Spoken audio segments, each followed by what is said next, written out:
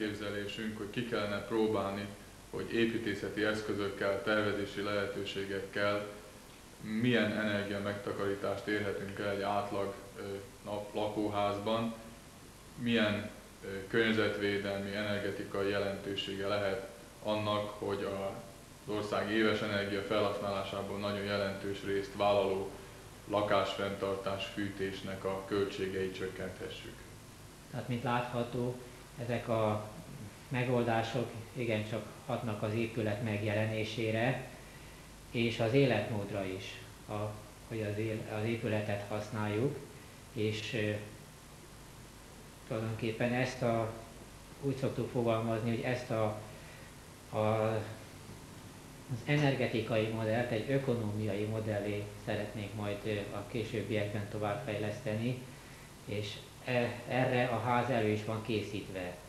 Persze vannak olyan elemek, amik nyilvánvalóan többletköltséget jelentenek, mint például ez a két fűtőfal, itt az épület két oldalán szimmetrikusan a déli oldalon.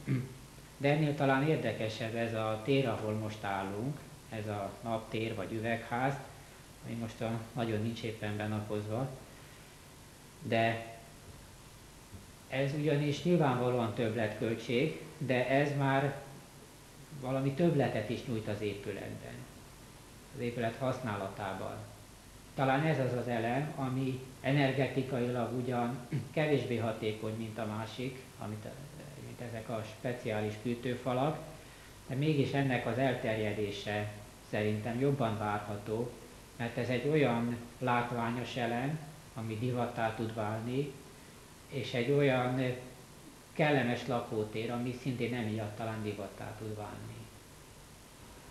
Tehát Pécs igen szerencsés város a napsütéses órák szempontjából, de ez azt is tudni kell, hogy szemlélete válogatja gyakorlatilag minden napház, minden ház napház, amelynek déli ablakai nyílásai vannak. Hogyha a városból járunk nagyon sok helyen látni spontán, úgy tetszik energiatakarékos vagy napenergia hasznosító házakat, beüvegezett erkélyeket, jó megtervezett nagy déli nyílásokat megfelelő árnyékolással.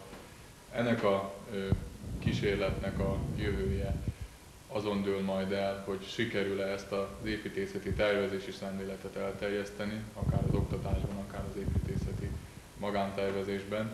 Másrészt pedig, hogy sikerül-e olyan termékeket, ipari termékeket sorozatgyártásban felajánlani a magántervezők, magánépítetők számára, amelyel viszonylag gazdaságosan valósíthatók meg ezek az elképzelések.